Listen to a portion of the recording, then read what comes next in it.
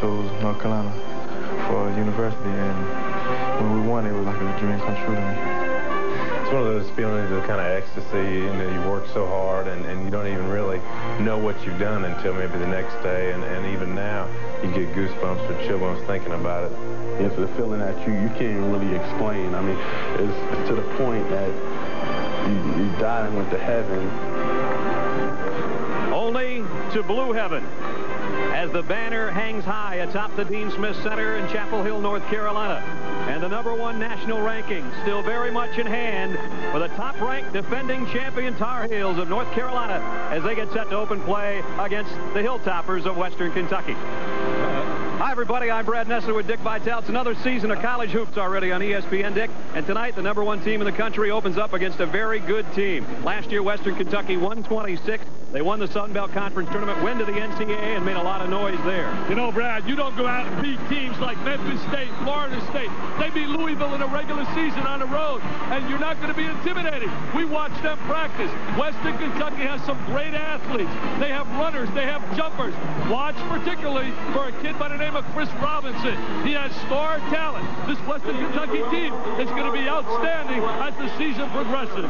The problem for a team like North Carolina is that they're North Carolina. Add to the fact of the national champions, it's like running with the Bulls in a red sweatsuit. You know, everybody wants a piece of you. Well, you know, everybody wants a piece of them, but when you look at North Carolina, they have all the elements that coaches dream of. Number one, they got one of the premier baselines in America, headed by the All-American Eric Montross in the lane. They have one of the premier backcourts in America with Phelps and Williams. They have one of the premier benches in America with Stackhouse and with Wallace, and one of the premier coaches in Dean Smith. That all spells trouble, baby, for all the opposition. Another year, Brad. I can't wait. He's ready. So are we. How do you get ready for the number one team in the country in the opening game? Let's go in the Western Kentucky locker room and find out.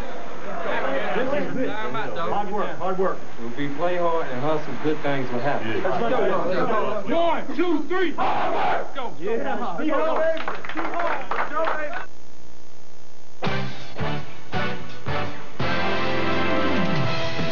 ESPN's exclusive presentation of college basketball is brought to you by Lincoln Mercury and the complete line of Lincoln luxury automobiles. Lincoln, what a luxury car should be. And by McDonald's. What you want is what you get at McDonald's today. A full house in the Dean Smith Center in Chapel Hill, North Carolina. NIT first round action. And let's take a look at our McDonald's starting lineups. First, for Western Kentucky's Hilltoppers, they expect a lot of rebounding and leadership out of the only senior on the starting five, Cephas Bunton, with Robinson Hall, Fralix, and Horn. And Ralph Willard has done a brilliant job in his three seasons at Western Kentucky. For North Carolina, Here's how they look. Derek Phelps, maybe the best defensive guard in the country, with Williams, Montross, Reese, and Salvadori, four starters back from the national championship squad for Dean Smith, now in his 33rd season, second winningest all-time coach in college basketball history. First game, a new year, and we're underway. Defense immediately look for them to trap Western Kentucky out of their man. Phelps leaves it for Reese, who knifes in and scores. Nice cut by Brian Reese. Had an ankle injury when practice started, but he's okay. Look at his full court pressure using Salvadori up on top. I agree with you, Brad. I love Phelps defensively. You got to get the ball away from him. And he's all over Fralix, but a little bit too all over Fralix as Derek Phelps picks up the first foul of the ball game. You know, Fralix is in really a tough position. He's replacing Mark Bell. He was the catalyst who made this team go when they beat Seton Hall. I think we're going to see Jeff Rogers at that point guard position a lot, a junior college player who really can flat out score. He's a jet. Fresh 35 on the shot clock, which is new here in 93. 35-second shot clock. Nice backdoor cut. Darren Horn. Great two-man basketball. Quick hitter. The first turnover of the game. That's one of the keys. They have to force Carolina to turnovers. Horn didn't get the roll. Salvadori has it stripped, but he's fouled by Chris Robinson. You know, last year, Western Kentucky, they forced 21 turnovers a game. Ralph Willard plays a lot of the same similarities in his system as Rick Pitino, who he worked under when he was with the New York Knickerbockers. And I tell you, coming out here tonight, they were not intimidated. They are as loose as a front wheel with only two lug nuts. I mean, they're ready to play. I like that line already early in the year. I like that, Brad. Two on two. Oh, Williams has it blocked by Bunton. You know, if you look at North Carolina, they have two areas which I think really stops them from being what I call invincible. Number one, perimeter shooting. I don't believe they're an outstanding perimeter shooting team other than Donald Williams. Number two, lack of tremendous speed. They're not super quick with Montross and Salvadori on the floor. Two seven-footers, and one of them out on top right now for Carolina. Tie game at two. Some nice pressure on defense by the Hilltoppers. They really take pride in their defense. Look at this. He's in a double team situation. Great job down low by Robinson, and uh, Reese had to bounce it off his leg. What an intense competitor Ralph Willard is on that sideline.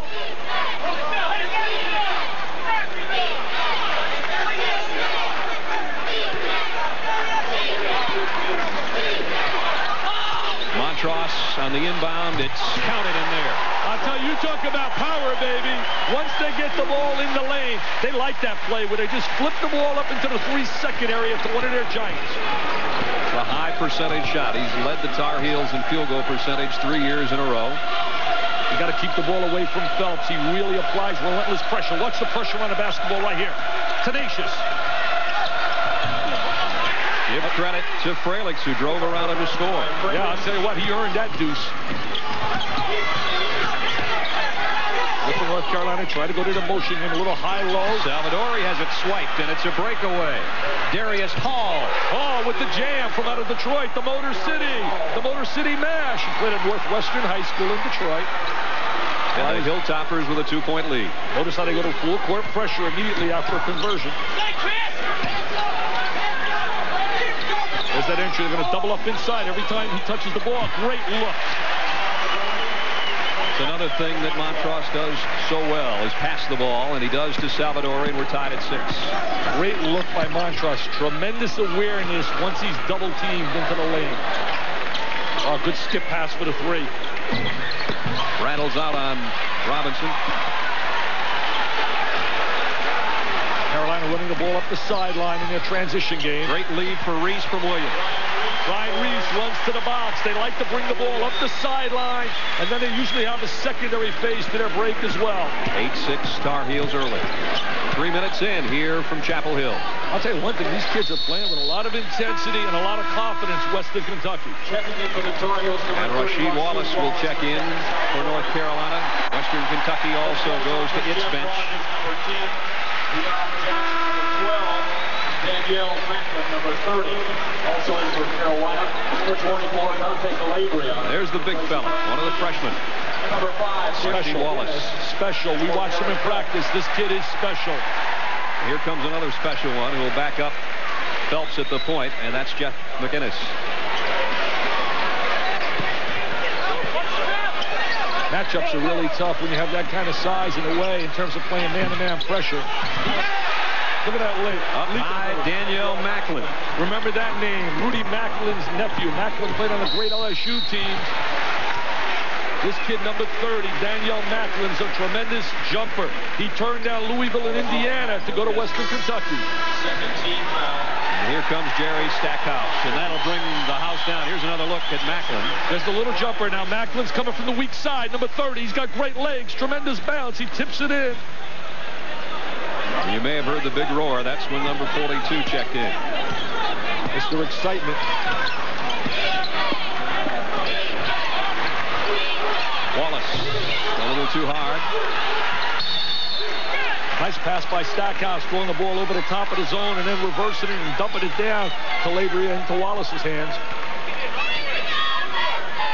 The Bunton will inbound, and again, full court pressure from North Carolina. What makes Wallace so special is he's so agile and mobile for a guy 6'11".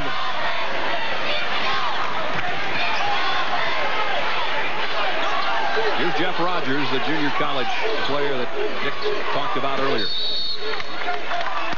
McInnis picks up the foul. Hey, can he score, Brad? How are these numbers? He had 41 against the junior college national champs when he played against Three Rivers. Had 36 on Vincennes, one of the finalists in junior college. And he had 35 on Butler out of Kansas in the junior college ranks. He can flat out score, but he's having a little tough time adjusting to their system. The miss by Horn. Rebound lost. And another foul picked up underneath.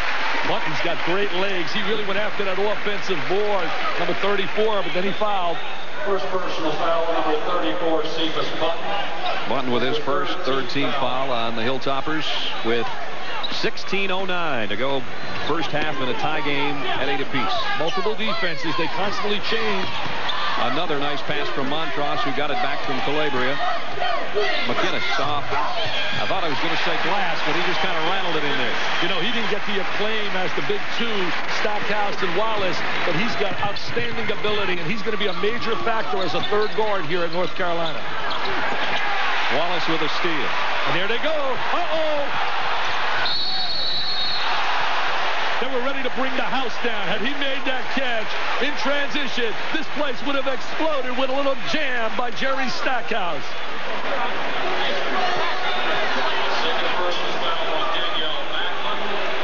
There's the drive. Now we're going to watch Stackhouse get out in transition. Here's the outlet. The first phase of the running game. Look at Wallace running, number 30 trailing. There's Stackhouse. Tough play to make. He gets fouled on a play. Went to Oak Hill. Played with McInnis. They were undefeated down at Virginia Prep School. McDonald's All-American. And about to try his first free throw in a North Carolina uniform. Rated very high by Bob Gibbons. He rates all the high school players with the Bob Gibbons, report. In fact, Wallace and Stackhouse and McInnis were three of the top 15 in America. 15:38 to go. First half. Dean Smith's Tar Heels out to a four-point lead.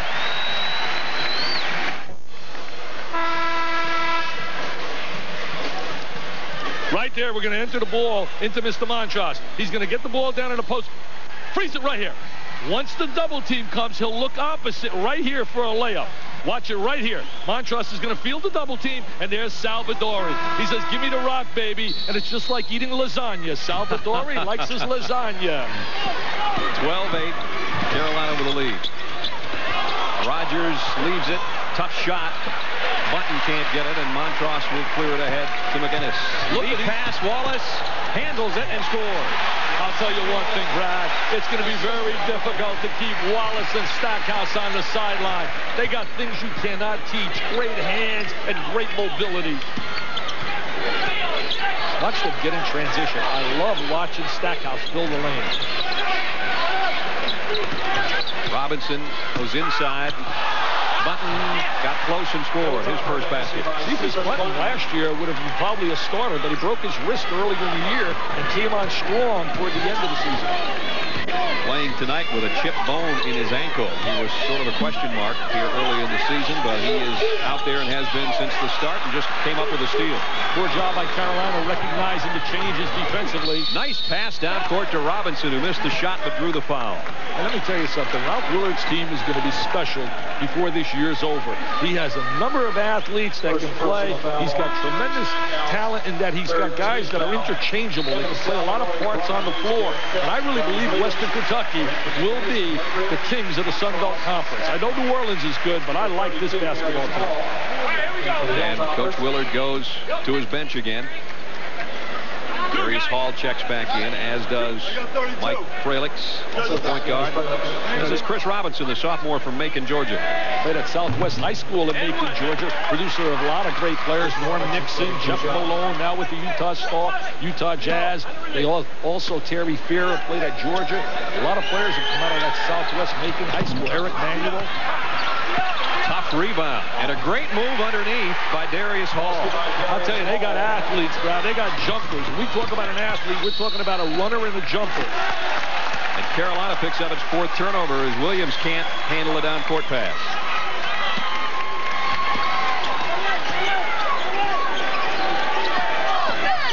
Fourteen, 13, North Carolina. Western Kentucky not intimidated at all by the national champion so far. Now, when you go overtime with Florida State and you beat Louisville and beat Memphis State, you know you can play with the big boys. Wallace doubled and shoots over it. Sensational. That's all you simply can say. Sensational. One of those players that comes right out of high school and has all the tools. Rogers will pull up. And he's 0 for 2 from the field. That's how he scored in junior college. He was a machine. This isn't junior college. It's the big leagues. it's the big leagues. They like to dump it inside. Got a little mismatch. Could have given it to him. Derek Phelps draws a foul. Some new rules here in 93 that we'll look at as we go. We mentioned one already, the 35-second shot clock instead of the 45 of past years. The rich get richer, Brad. All the rules seem to always favor the better teams. For example, reducing the shot clock to 35 seconds, you favor teams that have talent because the more possessions in a game, the better opportunity they have to win and takes away chances for the Princeton and those people to spring upsets. And I don't like it. I want to give the little guy a chance as well. Salvadori. And he pushed off Darius Hall. Salvadori picks up his first foul. He's a great story. You know, he came here out of Pennsylvania, was not heavily recruited. He redshirted his freshman year, and now he's earned the chance to be a starter. He's really increased his weight, his strength. They're going to call it a traveling violation, not a foul on Salvadori. Stand corrected. Montross back in. I thought Montross had his coming out party as a sophomore, but he had that great performance against Duke when Duke was undefeated. And he had blood all over his face. And I thought from that moment on, he finally arrived as a big-time player. Preseason All-American choice at that pivot spot. Here's a rule changes for 93 that we were talking about. Shot clock reduced, as we said, 45 to 35. Speed up the game. Time clock stopped after field goals in the final minute, so coaches don't call those timeouts when they're down by 35. And the elimination of the five-second count is the one I don't like because it's going to be boring with players holding on to the ball. Give it back to Stackhouse. Should have given go right there. Reese does finally give it back. Stackhouse first field goal. He's got four, and Carolina leads by five. What great basketball instincts. Just has that tremendous ability to get up and down the floor as well. Rogers working against Phelps, and he's lucky he got fouled because he would have been called for traveling. You got to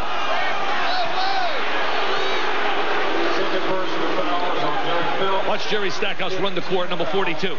Very difficult to play a guy that's very active. He runs a little curl move right over Montross, gets himself on a baseline, squares his body, kicks it on the glass, and converts it. Rogers goes out, and Darren Horn checks back in for the Hilltoppers, who trail 18-13. Fralix outside, can't get the three. They like to shoot the three. They averaged about 18 threes a game last year. They like to drive and kick it out. Spot up. Robinson's been quiet. He's been sensational during their preseason workouts. Fralix 0 for 2 from out there on that possession. Carolina with some numbers. Williams has not shot much yet. Montross outside. And Reese had it blocked. Montross follows. Offensive glass. They're going to play with the ball up on a glass. And there's Montross with the big body with the conversion. Carolina stretches it out to seven. All alone, Horn. They've got to start hitting the outside shot, and they can't find it right now. Darren Horn is their experienced player. Started last year, had some big games. He's got to knock down that open shot. And Darius Hall picks up the foul. You know, you look at North Carolina, they lose George Lynch, who was their leader, an inspirational guy, a tremendous offensive rebounder. But I really believe they'll make up for his loss in physical skills with Stackhouse and Wallace. The question is, they have to have a guy step forward as a big-time leader. A whistle and a foul on Horn as Phelps brings it down court. So right now, Western Kentucky, after staying close and having the game tied up three times, they find themselves down by seven with 12 minutes to go in the first half. We got to be careful of that spurt. Carolina is capable of running one of those spurts on you, eight zip, and blowing it open.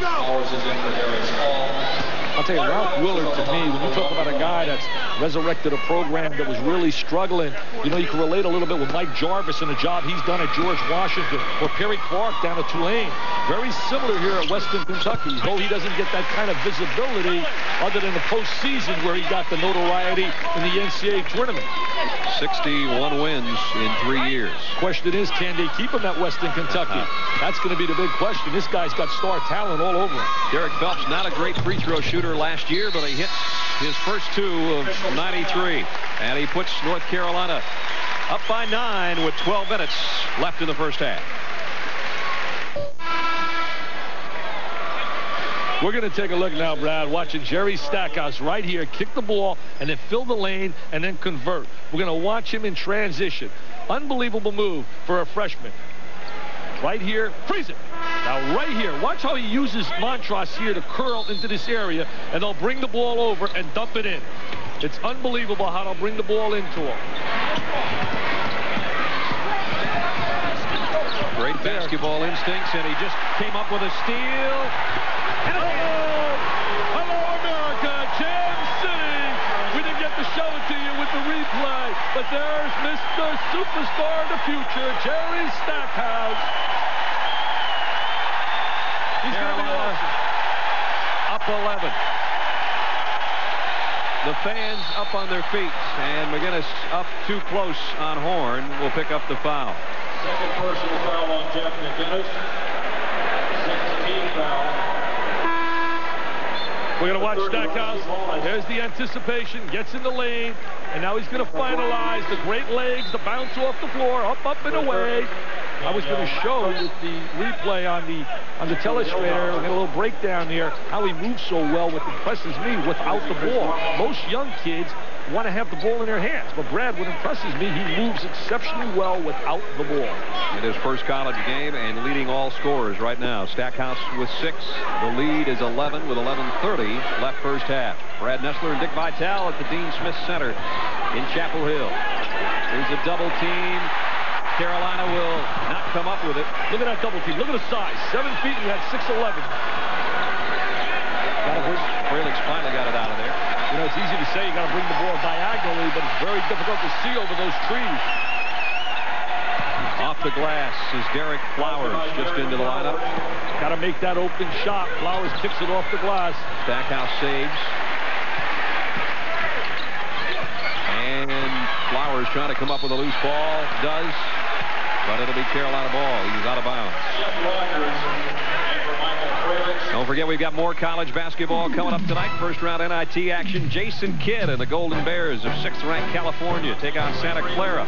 That's at midnight from San Jose Arena, right here on ESPN. So our college hoops will not end in North Carolina. We'll take it west for you a little bit later on tonight.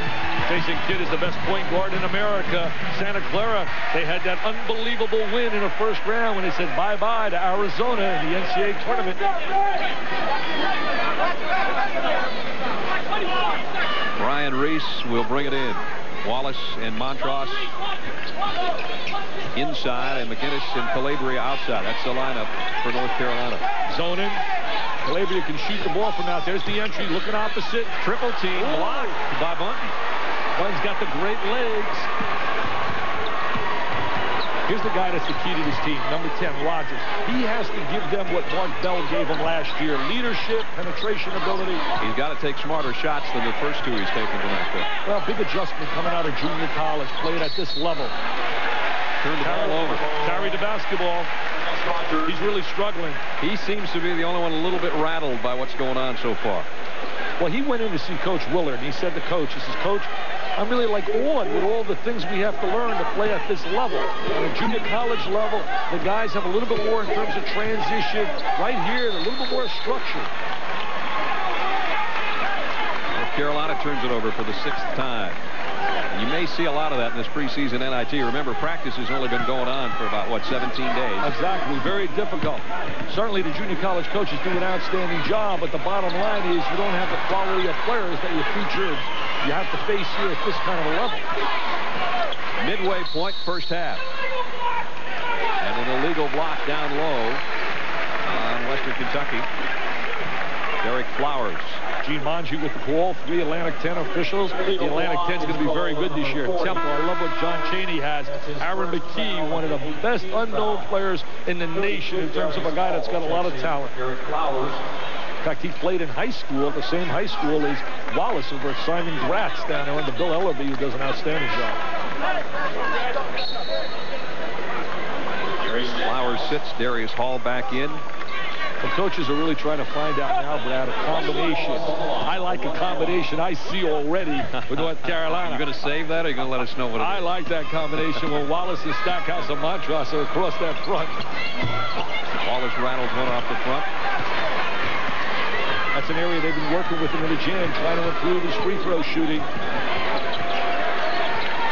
Rogers almost carried that ball again. He's struggling. He's got to come out of the game. He really has to sit for a moment or two, find himself. I think Willard will go to the bench and get him out. And there it is. Mr. Frelick is coming in.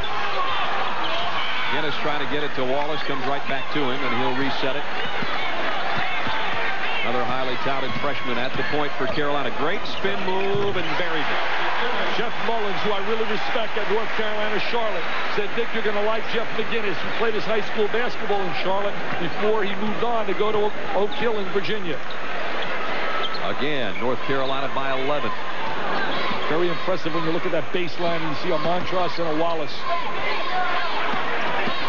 Macklin, great drive. Daniel Macklin is a special player. He's got tremendous quickness, and he's going to be a very key player with Western Kentucky in the future. Got to get back on transition, though. Carolina can run with guys like Reese, who has six. Here's Horn, and now it's end to end. He must have heard you, Brad. He said we can run too. He said the Hilltoppers can blitz it up the floor. Nine-point North Carolina lead. Calabria thought about a jumper. Reese feeds to Wallace. Missed the jam. He likes to jam a lot. It's very similar, not that he's a similar player, but very similar to Chris Webber. He used to catch the ball and just jam it. They're going to reverse the ball. There's the unselfish play. Reese dumps it down. Up he goes. Challenges Bunton. Hits the back of the rim. Wallace goes to the sideline. And Montross picked up the foul, trying to get the rebound off that miss by Wallace. So we walk it to the other end. And Darius Hall will go to the free throw line. One and one, guys. Hall, a 6'7 junior out of Detroit. Last year, 9.4 a game for the junior. Tallest player on the team at 6'7. And that's tough when you're going against Montross at 7 foot. Salvadori bigger than that, and Wallace about 6'11. There's Phelps. He knows his role. Penetrate, bring the ball up the floor, play on the defensive end. A little bit out of control right there. Dean Smith said he expected turnovers this early in the season, and so far Carolina has got more than Western Kentucky. That's seven against the Tar Heels. We still have eight and a half to play first half. Well, the style of games with the forced turnovers, the trapping defenses, the quick pace of the game, and this early in the season. Horn's going to slow it down, guarded by Calabria. Ball loose on the baseline. And off Western Kentucky.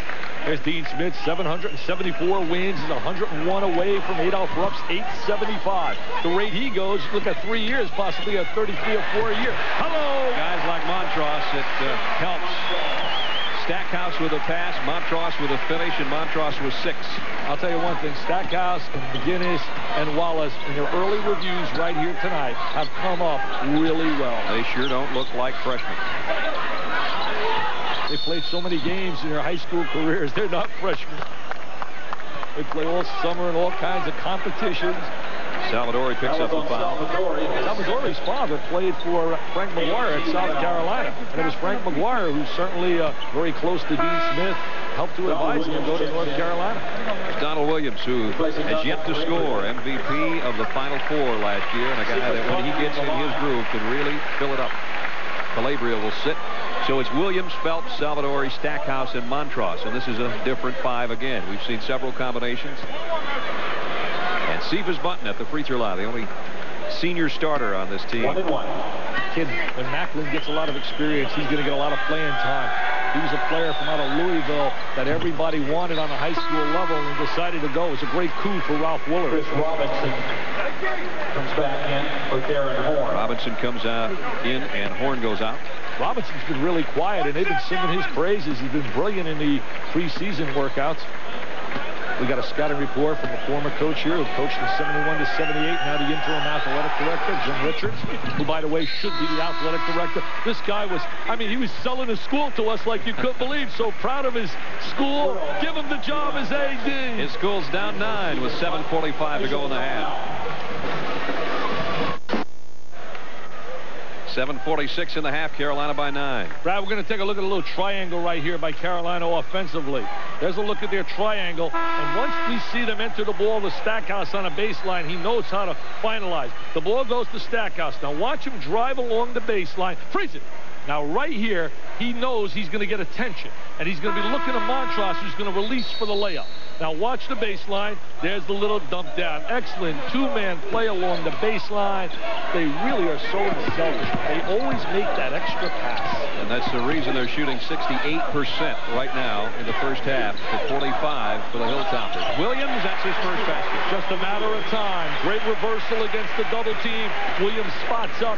He is the one guy that can shoot the ball from the perimeter at North Carolina. Western Kentucky throws it away.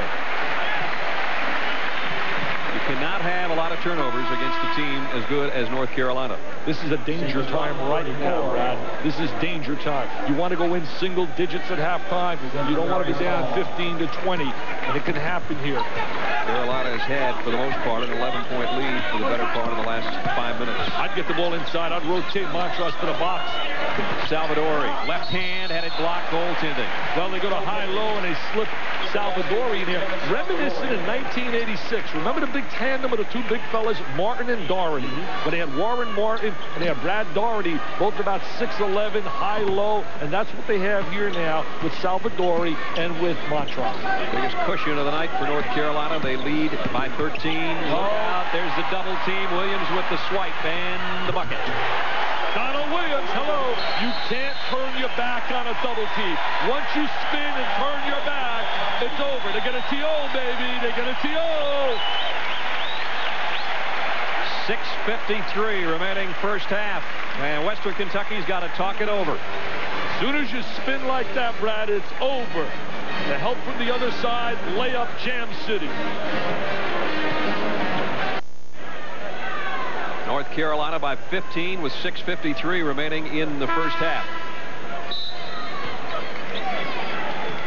North Carolina playing their face guarding defense, full court pressure, overplay. Almost came up with a little steal. Brian Reese, nice job defensively.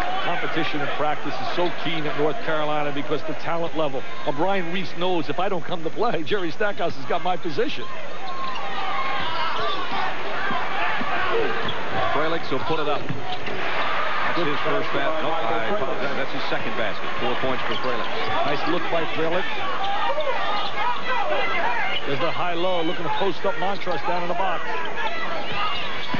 This is what Reese does so well. Good hustle by the Hilltoppers, but it'll still be North Carolina ball. Brian Reese loves to drive that baseline. His former high school teammate, Adrian Autry, is going to be a key player this year up in Syracuse. If he has a consistently big-time year, Syracuse can be smiling. Rasheed Wallace back in. Salvadori will sit. So it's Wallace, Montross, Williams, Reese, and Phelps. See, Montross is a true low post center. Wallace is a guy that can play the four or the five, meaning the power forward slot or the post position inside. Montross had it stripped by Bunton. He got him before he took the ball up. At his waist level. 13-point North Carolina lead with just over six minutes to go first half. And we're going to have a foul, I believe, on Robinson as he got tangled up with Reese. Yeah, Robinson trying to push off to get free for the ball. He's a little frustrated right now. He's not able to get the ball where he wants. Robinson is second. Ninth team foul against Western Kentucky. So we'll walk it down to the free throw line on the other end for Brian Reese. They're going to mature quickly to Western Kentucky. In a month of December, they got dates. You ready for this? With Louisville and a possible date with Indiana at Indiana if they can beat Princeton in the first round of an Indiana Classic because Indiana most likely will get by Texas Christian. I'm already giving them the W over there. Knight saying, well, you're going to give us a W. I'm trying to get my kids ready to play. Reese with a miss. Chance to cut the lead back to 11 with six minutes to go first half. I love the way. Look at Phelps digging. All you young kids, watch him play defense. Robinson outside. They still cannot find it. Other than in the lane, basically all the scorings come within 12 feet of the basket. Now, obviously, Eric Montross will be a high draft choice because he's a rare breed with that size. But he's going to have to be drafted by the right team to utilize his kind of talent. Reese up. Stuffed, but also drew the foul. Bunt will go up there with you, that's for sure. Oh, he's got great legs, tremendous bounce off the floor. He's very explosive. Western Kentucky's got a lot of tradition. It started with E.A. Diddle, who went over 750 games in his career. Got inducted in the Hall of Fame in 1971. Passed away in 1970. I have a problem with that. I, I have a problem with always waiting to put people in the Hall of Fame until it's too late rather than putting them in so they can enjoy that moment. Rogers checks back in for Western Kentucky, and Fralix will sit. Brian Reese at the free throw line. Montross gets a breather for North Carolina. Reese has missed his last two free throws. Win that national championship.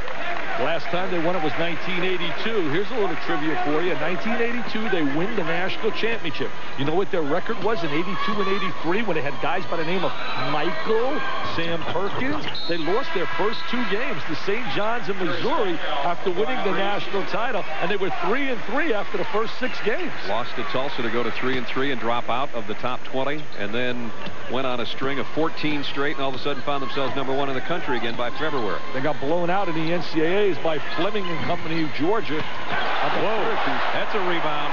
He's a man. Bad pass right there. Rogers finally scores. That's his first basket. Cuts the lead to 12, 37-25, North Carolina. There's the double team. to allow them to reverse the middle to the trail man. The Hilltoppers would like to pressure you all the way down court. They quite frankly have not made enough shots to pick up that full court pressure. Carolina running a little horizontal screen along the boxes inside. Salvadori. Stackhouse, great weak side rebound. How do you keep him on a bench? You tell me. You look at his legs. You look at his ability. Star all over him. Certain players have presence. Certain players have star on their chest. And guys like Stackhouse and Wallace have that on their chest. Just like the kids when they entered Michigan, the Webbers and the Howards. Foul on Williams. College football coming up this Saturday. We'll get things going. The Southeastern Conference has seventh-ranked Tennessee, led by Heath Shuler, the great quarterback, takes on Bill Curry's Kentucky Wildcats, who are Peach Bowl bound. That's at 4 o'clock. And then in the ACC, number two, Florida State, Charlie Ward, the leading candidate for the Heisman, takes on the Wolfpack of North Carolina State, 7.30 Eastern Time.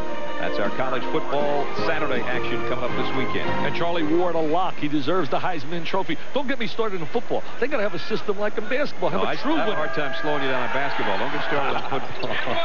Now, my bosses told me they don't want me to talk football. I said, talk basketball. But I promise I will not say I know you were in Florida that game State, last week. I'll promise I will not say that they should not have to play Notre Dame again. I'm not a mathematical genius, but you go, why should you have to go 2 and 0 and then 1 and 1? But I will not say nothing about football to be national champ.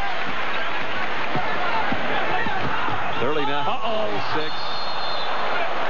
Was there, but Carolina picks up its 10th turnover. And you can hear the oohs in the crowd waiting for one of those to go right. Excitement all over them. I'll tell you, they have excitement all over them, the new kids. Now it's going to be the only new kids we're going to see on the college scene this year. Dontonio Wingfield is going to be special with Cincinnati, and certainly Charlie O'Bannon down at UCLA, Darnell Robinson at Arkansas. Here's all three freshmen at once. Wallace, well, I was just going to say Wallace, Stackhouse, and McInnis, but now Wallace McInnis will go out, and Phelps will come back in. For the first time, we're going to see all three in any kind of minutes together, but a couple of them sit down now. You know, Michigan now, Brad, has the fabulous four. We'll see them against a good Tulane team. Jerald Honeycutt, a guy you want to remember that name for Tulane, a freshman. But the fabulous four, I think if there's a problem with Michigan, it's going to be depth and size. And a guy they're going to miss, we know they'll miss Webber, right. but it's Eric Riley, a guy that gave him great play off the bench down there at Michigan. Let's see that game December 1st. This is the opener of the 16-team preseason NIT tourney. Rogers misses both free throws. Blown opportunities by Western Kentucky. They've caused a lot of turnovers, but they don't have many points off them. Great look by Stackhouse to Reese. Did you see that look? The no-look pass. Jerry Stackhouse. Tremendous no-look pass. The lead back to 15 with 4.15 left in the half. And a turnover. Charge. Stackhouse takes the charge.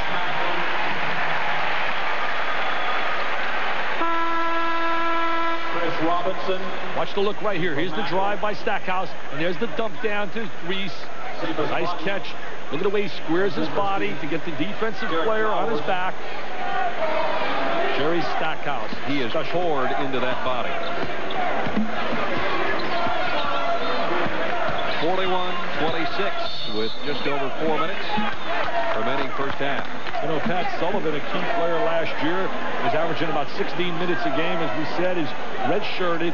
And I really think as we look at Pat Sullivan, by redshirting Sullivan to get him ready for next season, it's freed up some minutes for Stackhouse and Wallace this year. Everybody comes out a winner in that deal. He's going on for his Masters. Fifth-year player, Dean Smith, 875 is a magical number. What a teacher. We watched practice yesterday, you and I, we were amazed how he just took control and was teaching and loves to teach. He loves to be on that floor.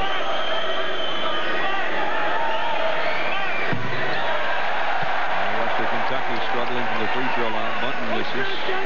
There's the sensational freshman who's off to a great start tonight. Eight points, a couple of unbelievable assists, and had a rebound where he was way up over the box.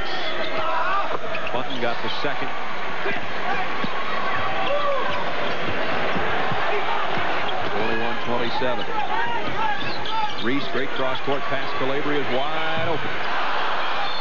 Rattled out on it. Perfect execution and how to throw the ball over the top of the defense, especially when facing trapping defenses. Brian Reese picks up his second foul and will walk it back the other way. Here's the field for the preseason NIT. As we told you, 16 teams, six of them in the top 25. We've got this one, and winner of this one meets the Butler-Cincinnati winner on Friday night. UMass, Cleveland State, Towson State, and St. John's. In the other half of the bracket with the NIT champions from Minnesota, ranked 10th in the country, defending postseason NIT champions against Rice, California, and Kansas, both in the top 10 and also in the field. Watch Minnesota. They got everybody back, and Voshon Lenard is a special player. What's he Haskins. You talk about special players. When you think of Western Kentucky, Jim McDaniel jumps to you. What a great player he was in 71 when he went to the Final Four. But then they also had a guy by the name of Clem Haskins. He was absolutely super. He nods his head, said, that's okay. Now he's going to go talk to Ralph Willard. So we got a little problem.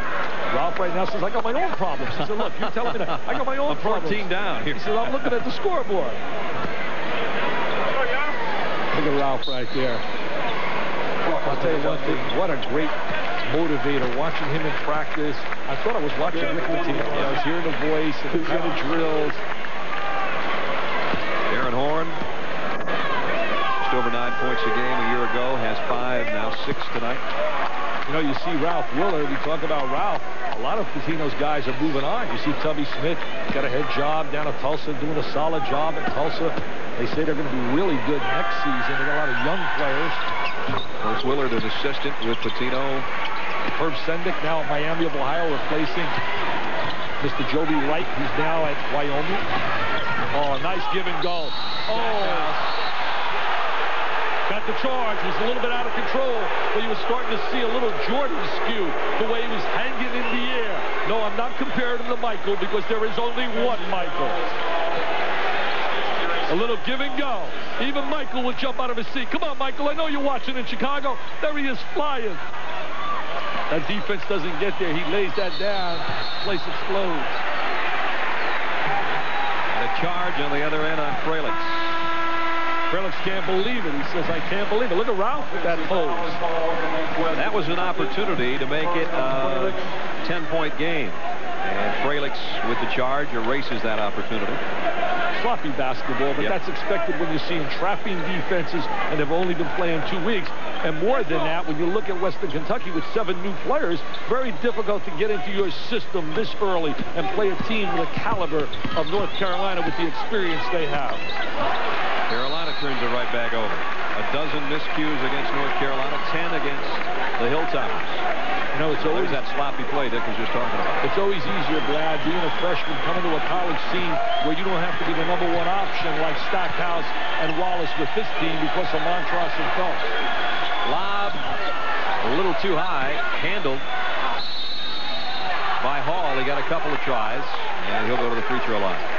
Hall played at Northwestern High School. I was fortunate enough to recruit a young player that played for me by the name of Terry Tyler, who played over 10 years in the NBA, came out of Northwestern, he really produced a lot, a lot of outstanding college players. And Phelps, Salvadori's picked up his third, so we'll see if Wallace comes in for him. He will. Salvadori.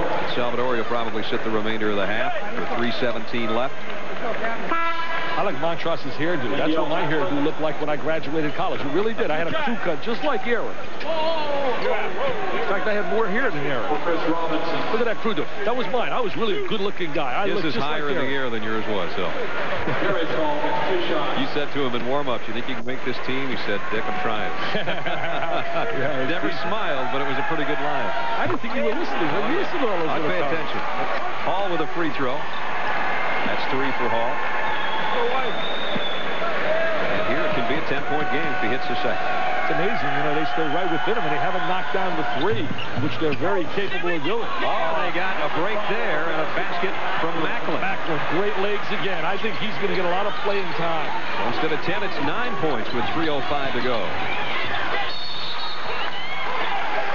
And did McInnis pick up the foul on the other end? Look at this, look at this, look at the emotion, look at the emotion right, a little bump, give him another bump. Darius Hall, That's the call. the bench getting into it. They, they won 26 games last year. They're going to have an outstanding year again this year. They really are. Because remember this, they're not going to be battling the likes of North Carolina in the Sun Belt Conference. McInnis loses the handle, pushes off, trying to get the loose ball. Look at this, look at this. We saw that kind of fire even in practice yesterday. They, they definitely demonstrated that kind of spirit. That's not hot dog. That's just spirit and excitement and jubilation. McInnis may be done for a long time tonight. That's his fourth foul. And Hall That's usually an area that freshmen have a major problem with, making that transition. The game's a little faster paced than they're acclimated to on a high school level, and they get themselves in foul trouble quite a bit. In fact, I'm sure Digger Phelps sitting in the studio will attest to that. He can talk a little bit about that, making his debut at ESPN. Eight-point game, 41-33. Closest since it was 20 to 13. And the only way they're staying in this game is because their aggressiveness defensively, forcing turnovers. And they almost forced another one. Great job of fronting Montross by Darius Hall to knock it away. They love to hug. They call it the Western Kentucky hug. They report about that. They love to hug and say we love each other, we play together, we're a family, and it's all produced by Ralph Willard. Hilltopper hugs. That's right, they call it the Hilltopper hug. Williams with Horn all over him, and they'll double Williams, who's been quiet offensively. Reese wide open. Three won't go. See, Wallace made a mistake right there. He should have posted right back to the basketball. And Calabria goes down hard on the backside. They're going to call a foul on Fralix. Dante up in a hurry. I'm surprised. He really landed hard on the tailbone. When they reversed the basketball, Wallace, all he had to do was pivot back and reverse to the ball, and he had a layup. But he never came back to the basketball, and we got the jump shot out of Calabria. Calabria to the free throw line didn't make many trips to the free throw line last year. Hit 78% of the time he was there. Dante's dad played for Iowa, Back in the 60s. the Hawkeyes. Dante saw more playing time than any other North Carolina freshman a year ago. Sophomore out of Beaver Falls, Pennsylvania. Wait a minute, my favorite quarterback came out of that. Joe, Joe, Willie, Joe Nate. Willie Namath. One shot, gentlemen. One left. Williams, Calabria, Montross, Stackhouse, and Wallace on the floor for North Carolina. Calabria gives him a threat to shoot the three. Something, as I talked about earlier, if there are two areas that they'd have to be concerned with is when they play big with Salvadori and Montross. They have great quickness and perimeter shooting. Nice pass from Horn inside to Hall. He missed the first shot, missed the second shot, and it's still Hilltopper's ball. I'll tell you one thing, you better lay an A on effort for these kids from Western Kentucky. I mean, they are battling and scrapping against all the odds. Everybody expected the blowout, but they're saying we're not going to let them blow us out. They didn't make the trip in from Bowling Green just to show up. They're trying to hang with the number one team in the country, and so far doing a pretty good job of it.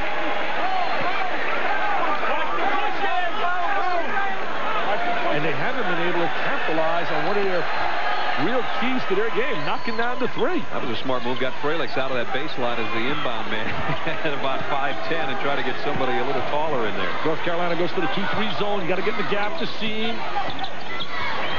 Spot someone up. One can shoot the three. They all have the license to shoot it. We don't have a three that's been made yet tonight. There's your air ball. Air ball. Hall back out. Kept his foot down. Horn will try another one. Still can't find it. And Stackhouse, the rebound. But the steal, uh, Sloppy. Fralix, four on one. They should make this one pay off, and they do. Nice conversion, good steal, forcing a turnover. We talked about earlier in the telecast. One of the keys, their traps are going to have to force the turnover. They've been doing it. North Carolina hasn't had a field goal in about three minutes. Montross gets fouled inside. I think one of the problems when you see North Carolina, very difficult to get into a rhythm when you're constantly changing the lineup. And Dean Smith has done that for years, so I'm certainly not here questioning his coaching style, but it's very difficult, especially earlier in his season, to get into a flow and a rhythm when you have five new players constantly on the floor. Eric Montross, seven-footer, 275, senior out of Indianapolis. All-ACC performer, and as we said, a preseason first-team All-American choice. Broke the hearts of the people at Michigan where his mom and dad went to school. They thought he'd go to Michigan, and Indiana thought they had a great chance to keep him home. His teammate Todd Leary is playing with the Hoosiers. And anyway, you know, getting back to my previous statement, I thought you'd jump on me at that. Dean's only got 700 and about 70 more wins many, than I I was going to say, how many more? Montross, I've been unbeaten, though, on TV. Monday, Coach Carolina. Wednesday, Kentucky. I haven't lost a game in 15 years. we'll see if that holds up tonight. Montross got them both. 10-point game. Now, One final four. 90 seconds. They go to a little 1-4. Four guys along the baseline and a guy at the point. We're just 129 away from the Delta Faucet halftime report. Coming up, we'll have a conversation with Dean Smith, John Saunders, and uh, the gang will bring you up to date on what else is going on in college basketball. And Digger Phelps with his analysis. Hey, I'll tell you one thing. Delta Faucet out of Indianapolis. I was with their people recently. You ready for this? They sold in one year 10 million faucets. I can't believe that. 10 million faucets. Chris Robinson on the line. Two shots. We try to research every statistic involved in our telecast. I knew you were doing something in your hotel room today. Robinson short. He's really come up empty for a guy with his talent. We were really impressed with him at practice. And he'll be a very good player. Stackhouse sits. Salvadori comes back in. Stackhouse has three, but so does Salvadori. So uh, he doesn't want to pick up a cheap fourth foul in the remaining 129 either. Robinson finally breaks the string, has two points on the game, and it's a nine-point Carolina lead. They need a big year out of him to replace Darnell Mee, who's now with the Denver Nuggets. Donald Williams kicks it out to Reese. He leaves it inside for Salvadori. Too hard. Rebound Rogers. Three on three. Up high with the shot as Robinson couldn't get it. And the rebound Salvadori. Wait a minute. Foul inside on Montross. That'll be Eric's second. A little bit of foul trouble for North Carolina right now. Phelps and Reese with two, Salvadori with three, Montross two, Stackhouse with three, and McInnis with four. But if you're if you're going to have a team getting foul trouble, why not have the deepest bench in the country? Right? Exactly. When you got a team that can line up with a second club of Stackhouse, Wallace, and talk about players like McInnis on a second team and Calabria. I mean, that second team really, in many situations, can win over 20 games and finish in the top 20 in the nation.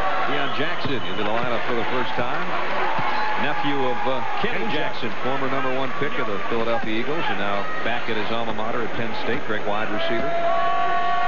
Deion went to Vincennes Junior College where they produced a lot of great players. In fact, one that played here at North Carolina, Bob McAdoo. 30, 38 points, 45-38, seven-point game.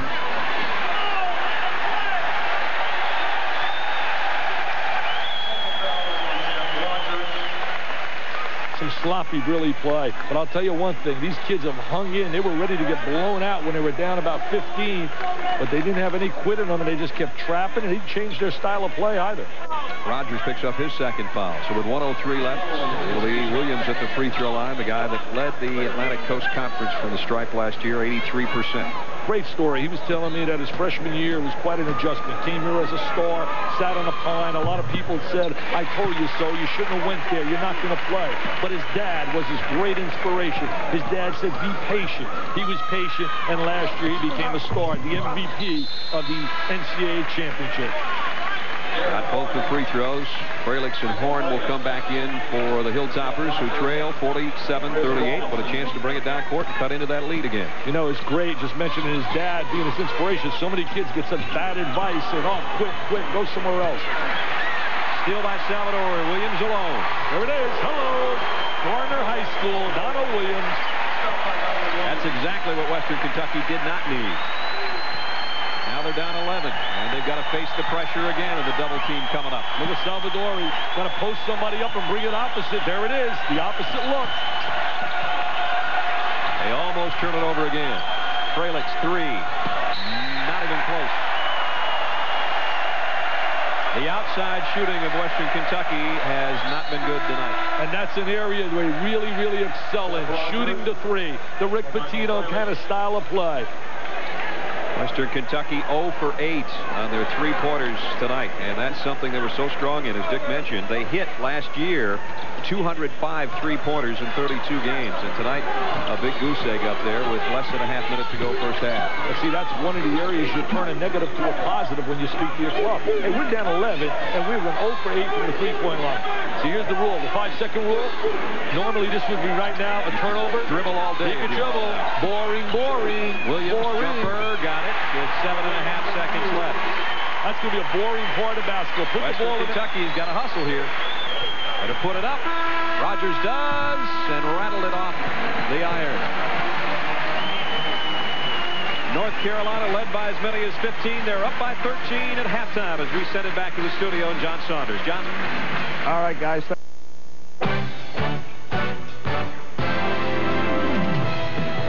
ESPN's exclusive presentation of college basketball is brought to you by New Sierra. It's not just antifreeze, it's safety free. Halftime of the Dean Dome. Carolina with a 13-point lead over the Hilltoppers of Western Kentucky. Welcome back to Chapel Hill, everybody. Brad Nessler and Dick Vitale along with you. Got to give the Hilltoppers credit. They're scrappy, Dick, but the problem is they're outmanned. Well, you know, they did a great job in terms of their defense, forcing turnovers. But like you and I were talking, they weren't converting. They shot poorly, 0 for 10 from three-point land, and they're down 13. 13 against most clubs, you put a club away. Western Kentucky is very dangerous. But the key, I thought, was the power inside. Take a look right now North Carolina. We're going to watch their out-of-bounds play. They like to flip it up and send one of their seven-footers to go get the ball. Take a look at it right here. They're going to flip the ball up on top. There goes Montross. The ball goes up in the air. He catches. He brings it down. And now he's going to take it up with a little power dunk. So power, the difference on the interior. Another phase. We're going to see Mr. Stackhouse driving the lane. We're going to watch Mr. Montross get great post position. And he's going to kick it to the inside. We take a look here. Stackhouse, the freshman, freeze it. Look at that right inside. He draws two defenders to him, and he gives the ball, and Mr. Montross takes it up and scores. I thought Stackhouse was sensational with eight points and four rebounds. That kind of passing and those kind of shots helps Carolina to 65% from the floor. And as you can see, not only poor field goal shooting, poor from the free throw line for the Hilltoppers. They just haven't shot well. Rebounds relatively even, and there have been a lot of turnovers, but Carolina has made them pay off, and Western Kentucky hasn't. Nobody's hit a three yet, which is kind of rare in this day and age in college basketball. 0 for 14 between both clubs. If somebody knocks a three down, I'm going to sprint court, I'm going to hug them, and I'm going to give them a trophy. Stackhouse will start the second half for Carolina instead of Salvadori, so he's out there with the four returning starters from last year's championship team. He earned it with his performance in the first half. Yeah, he really did. Eight points. Four rebounds and some excellent passes. Horn, nice pass in low, and Bunton goes up and jams it. That's great interior passing. Stackhouse had it knocked away from behind by Hall. They really like to drive the ball right at the Carolina big people on the inside. They have two things they like to do, drive and kick it out or drive and dump it to the baseline.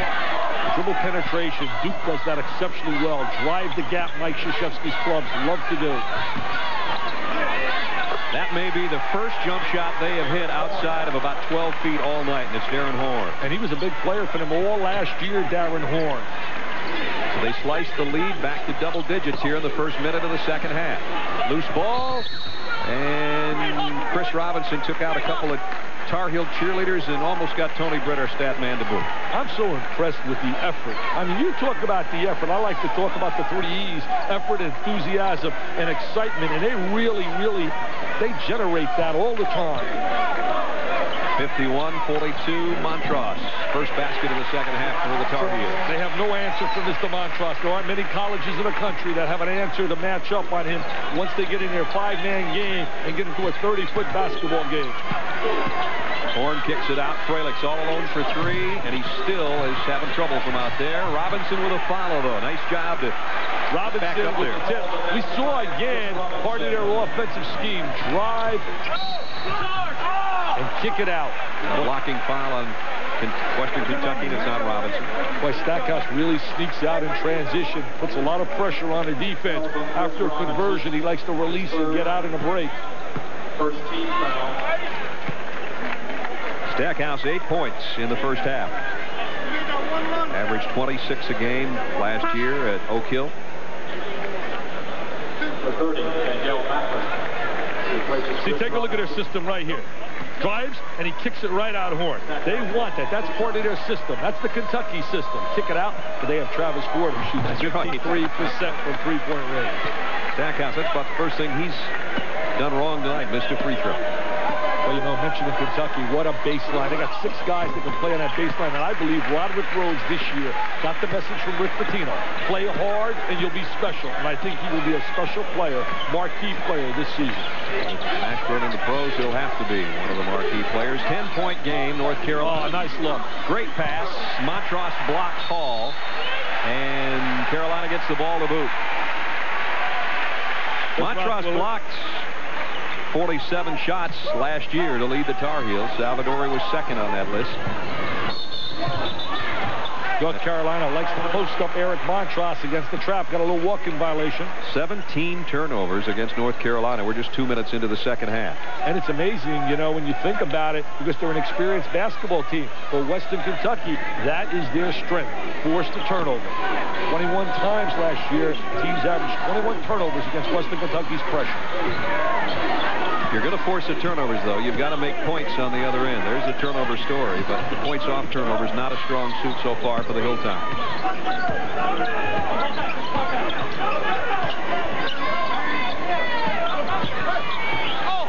Nice move with a left hand by Cephas Bunton. They worked on that in practice today. They said, Bunton, if we get you one-on-one against Montross, we want you to take him to the goal and beat him with your quickness. Montross fouled as he went up in close. They really reflect their coach's teachings, and that's the thing that's impressed me with Western Kentucky. I don't care what the score says here tonight. I'm impressed with Ralph Willard's basketball team. Eric Montross on the line for two shots. As Dick mentioned, you can close your eyes at practice and just listen, and you think you've got Rick Pitino on the floor. I'll tell you, Rick Pitino is such a master motivator, teacher, instructor, and I don't have to stroke him. Everybody in America knows that. That's why he's sought after by so many clubs every year. And his people have learned well really working under him. You sound like you're trying to get a free meal up there in well, Cincinnati up six with Dontonio Wingfield. Charlotte, boy, that town's going to be jumping the ACC tournament. And then you have also the NCAA championship, and the Charlotte Hornets look special. Even though my, my Charlotte pick, Panthers coming. My pick to win it all this year, Seattle in the NBA. Forget Charles the round man of rebound in Phoenix. Seattle with Gill and company. 56-46 Carolina, 17-35 to play. This is a big conversion, getting it down to single digits. If they can convert right here. See Montross out here chasing people and trying to get them away from the basket.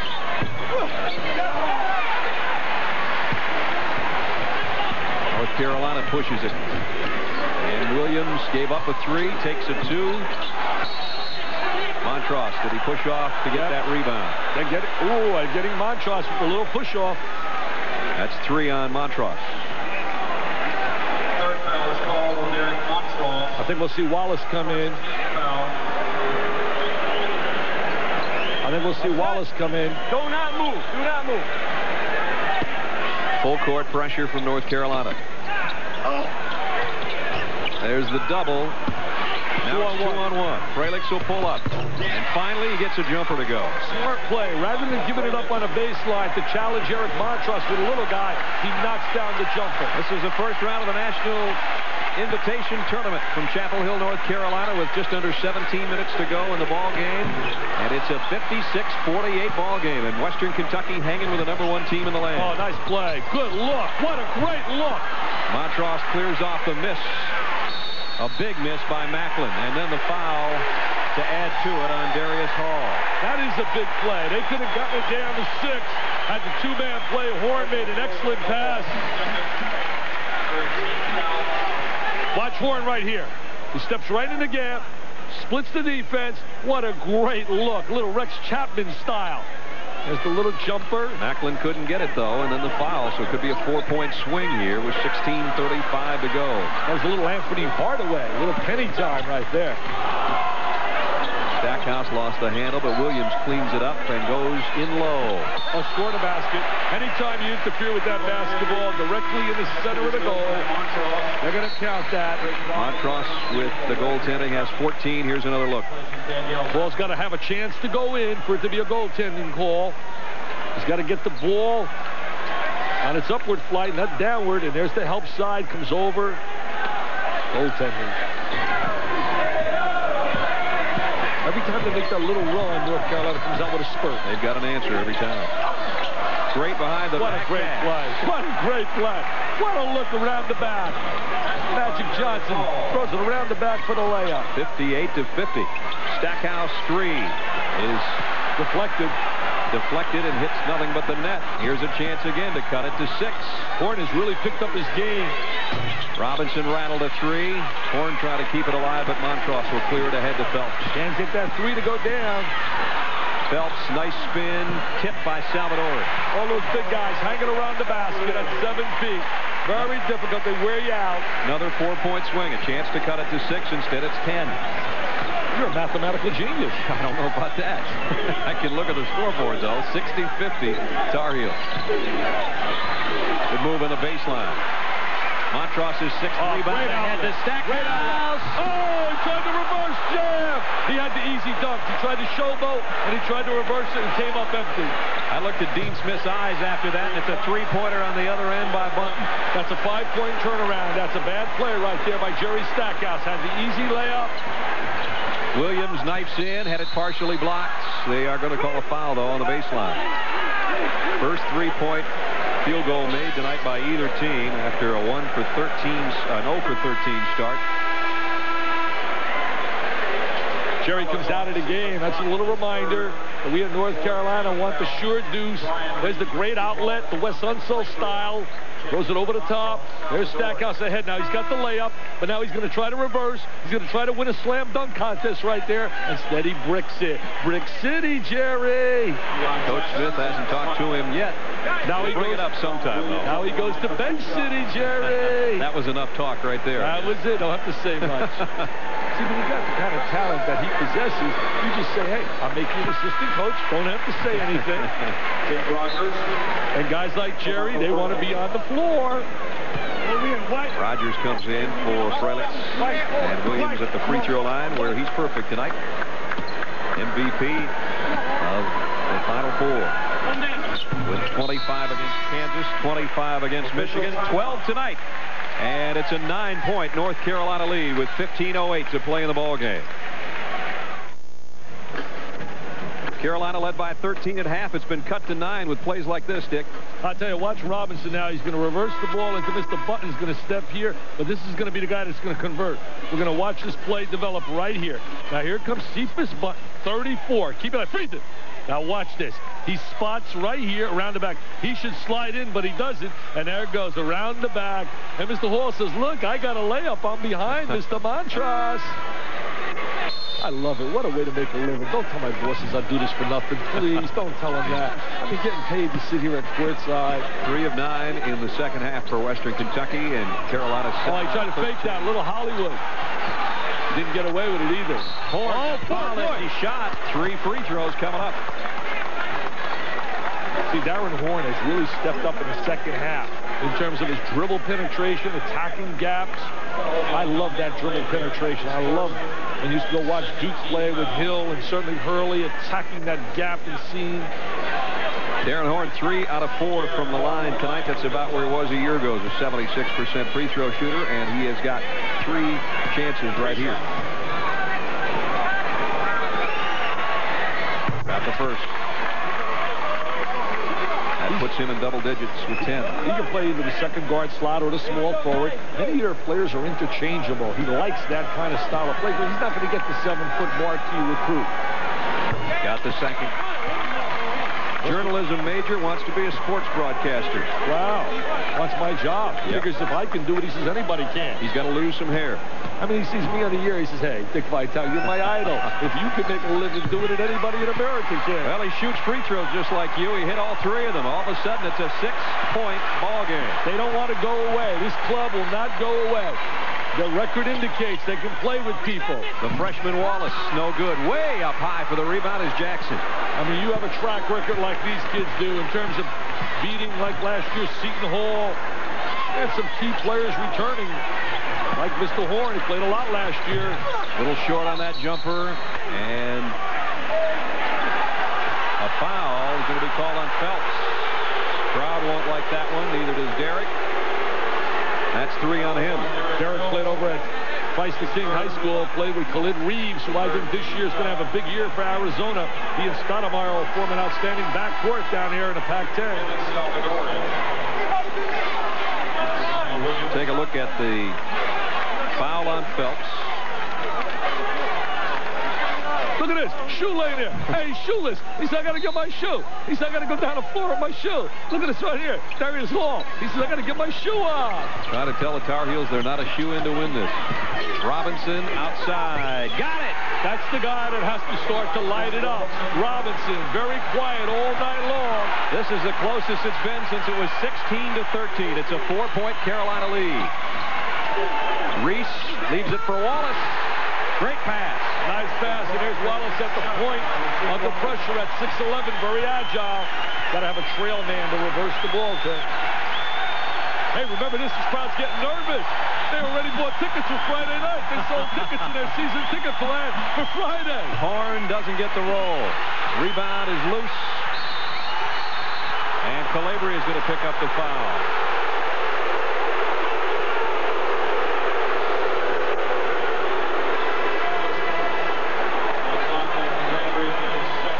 There's the dribble penetration by Reese on the baseline. Nice spin. And then there's the dump down on the box to Rasheed Wallace from the city of Brotherly Love. Mr. Dean Smith went the day after winning the national championship to his house, and that really impressed him, impressed his family. And he said, I'm going to Chapel Hill. Bunton gives it right back to the man that brought the pass in, and then the feed in low to Jackson, and he's fired. Do you think there's any chance that Ralph Willard showed them the season ticket plan that they sold tickets for Friday night anticipating winning the first round? Do you think he did that? Well, a lot was made of that fact by a lot of people, but uh, John Swofford, the athletic director in North Carolina, said, hey, we had to put it in the package because we couldn't try to sell 22,000 tickets in two days. So it's part of the package, and the package right now is that it's a four-point ball game. It's and a two-point game right here. Give it up. Horn. What a great look. Stripped away by Phelps, but he picked up another foul. Good, good play by Phelps coming over. They had the sure layup. Look at the hugs. Look at the hugs. Look at the bumps. I'll tell you one thing. This club is very, very aggressive, tenacious, scrappy, anticipate. Now he's going to kick it back. He's going to get it right back. What a great look by Horn. And there's Phelps with the reach and the grab. Last year, after making the Sweet 16, beating Memphis State and Seton Hall, and then losing to sixth-ranked Florida State in uh, overtime, they ended the season, Western Kentucky, ranked in the top 20 for the first time since 1971, and that was a Final Four team in 71. Well, somebody forgot to tell them they came in here tonight unranked. I'll tell you one thing, Brad. You and I noticed it yesterday and today at the workout. They were not intimidated. We were talking to several of the guys. They're not intimidated at all coming in here. I think half the battle, some teams coming here really are intimidated. They're a little stunned. Look, they're stunned on that sideline. The closest it's been since it was 4-2 Carolina. Very sloppy North Carolina. Can't get into their offense. Montross, and he is fouled by Bunton as he goes up for the jam. Their defense, impressiveness, and quickness is really negating North Carolina getting into their passing game and their motion game. That foul on Bunton's going to bring Hall off the bench because Bunton is in foul trouble now. Here's another look. They're going to bring the ball right to their All-American, but they're going to come right at him. I mean, Bunton in the hole. They're not intimidated. They're coming right at challenging Eric. Four fouls on Bunton. That's the bad news. And he has really been a catalyst and a, and a guy that's gotten tough rebounds and played great defense, but he fouls Montross, who go to the line for a couple. And, you know, statistically, Eric's not a great free throw shooter. Shot under 70% last year. I'll tell you one thing, that message in the Sun Belt, New Orleans is going to be good again. They only lose Ervin Johnson, and they were 18 and 0 during the regular season last year in South Alabama. Ronnie Arrow's got a good club, and I'll tell you what, this club is going to be tough to beat in their league. A basket makes it a one-point game. A three-pointer will tie it. But they walk with it instead. Got to settle down. North Carolina right now is going to find himself, make the extra pass, and bring the ball in the half-court game inside.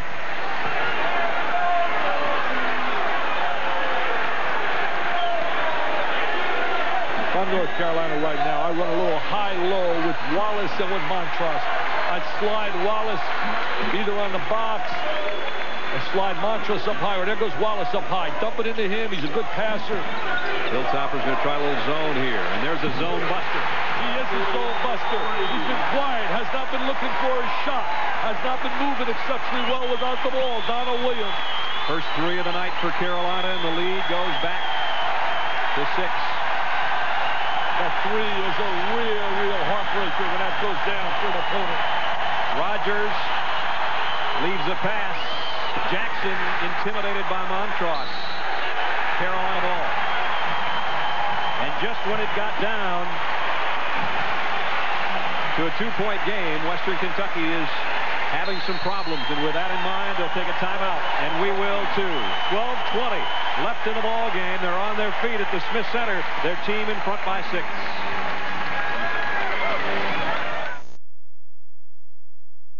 Oh.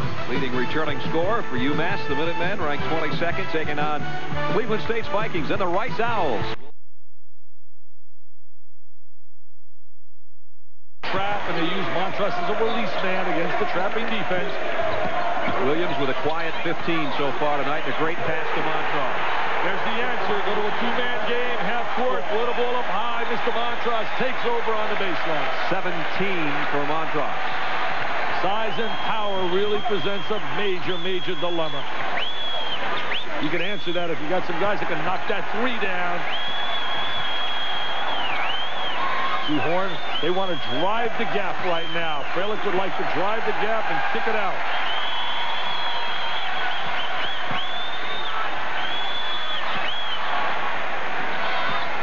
Garrett Robinson with five on the shot clock. Nice ball reversal. They swung the basketball over to Robinson. That's a dozen for Robinson, and it's 70-64. They're hoping by trapping also that Montross has got to come up to give help, that maybe he gets physically tired. That was one of their plans today at their shoot-around. Talked about, well, bring Montross back. You can wear him out a little bit. That ball bounced off the foot of Horn, not Williams, who was the player that was dribbling. So it's Carolina ball in the front court. 25 on the shot clock. We haven't had to mention the shot clock too often tonight. Of course, new this year, 35 instead of 45 seconds. Oh, they missed Stackhouse. Had a backdoor cut, trying to run a double screen for Williams. Williams oh, he got hit. off balance. He, got, hammered. He got hammered. And poetic justice, I guess, a turnover on the other end against Western Kentucky. How did three guys miss that baby? I'll tell you, Donald Williams got cracked. Came off like a double screen. They call it a stagger screen, Western Kentucky. Donald with that look on his face because of this. Uh, take a look right now. You tell me. There's a little head fake. Now he's going to take the jumper. Up he goes. Wow. Fralix hits a three for the Hilltoppers. That's his first three. Came at a great time. It cuts the lead to three. Look at that pressure defensively. Stackhouse alone. Explosive. Explosive. Can't teach that. Just took off from the sideline in the wind and said, let me get to the glass. Five-point game, 10.35 to play. Horn pulls up. He's got the jumper going now. That's something they desperately need. They're shooting with a lot more confidence. Carolina releasing like that Boston Celtic transition. Stackhouse driving the baseline is fouled. For years, the Celtics used to take the ball after a score and throw the ball down the court, especially when they had Larry Bird with that baseball pass. I mentioned the Celtics. How good and deep is North Carolina? You and I were talking about it. Matt Wenstrom last year was like a third-string center. I mean, played very little time. He's good enough to make the Celtics roster. Bunton is fouled out. Leads with 11 points and four rebounds. And they're going to miss him, no doubt about that. He leaves with 10.21 left. 30 seconds to make the substitution. If Cephas Bunton played this ball game with a chip bone in his ankle, I can't wait to see him healthy because he played most of it way above the rim. I'll tell you, he missed a lot of practice time. They're expecting a big, big year out of Cephas. And because of the kind of personnel they have, they can leave guys on the floor with the four fouls and bring somebody else in who can run and jump. Look at that help fronting inside. Good defensive front. Williams off the glass. He's starting to pick it up offensively. I think he's got about 17 now. He sure does with half the second half remaining. 74-69. Horn triple teamed and lost it. Over dribbling by Horn right there. Williams pulls up. Salvadori keeps it alive. I said it was a great rebound by Salvadori. In traffic, Hey, North Carolina is being tested and really being given an unbelievable match here. I don't think people anticipated this at all, Brad. Dante Calabria. Calabria comes in. McInnis goes out. Here's the trouble again by Horn in that traffic of North Carolina Tars. Look at four guys around him. Look at this. Going after the basketball. This is John Madden style. I mean, they're on the floor. They're giving up their skin. They're on their knees. They're kicking it out. Leads to a foul on the other end on Greg Glass, and so Kevin Salvadori will go to the free throw line. 71% free throw shooter last year. This is his first trip to the line tonight. Seven rebounds to go with his six points. You know, people think about his invincibility. I doubt very much this club, if people are anticipating undefeated, are really a little bit wacky because today's day and age, with the kind of games you have to play on the road, the talent you need, I mean, they're going to be certainly a talented and a dominant basketball team, but they're not the invincible team. They're a team that has some holes, and they really do. I mean, they got a second club we know is outstanding potentially, but you can only put five on the floor at one time. Just getting through the ACC unbeaten is an almost impossibility. Remember, this team lost to Duke and Georgia Tech and Wake Forest last year, three of their four losses. But they won 34, and they won the whole shebang in New Orleans. There's nothing wrong winning 34 and losing four if you win the goal. Glass working against Salvadori. Is Robinson slicing the middle. Doesn't get the bounce. Western keeps it alive. Horn, he's had the hot hand. And he's fouled by Brian Reese. I love the way Horn attacks the defense. He sees a hole. You young kids out there, whenever you're playing, if you see a little gap in a seam, use that dribble penetration to attack that gap. Try to draw help and then kick it out. Look at Ralph. I mean, he's got that little style. He's a little happy because he knows he knows right now he's got a lot of positives he can sell to his kids. Horn tried a three outside and didn't get it. Calabria pulls it off all by himself on the backside. 76-69, seven-point Carolina oh, lead. Oh, nice look. Salvadori fouled by Hall. You got to be a great leaper when you're only 6'7", because there's two seven-footers out there for Carolina, and this kid is a great leaper. Hall picks up his third.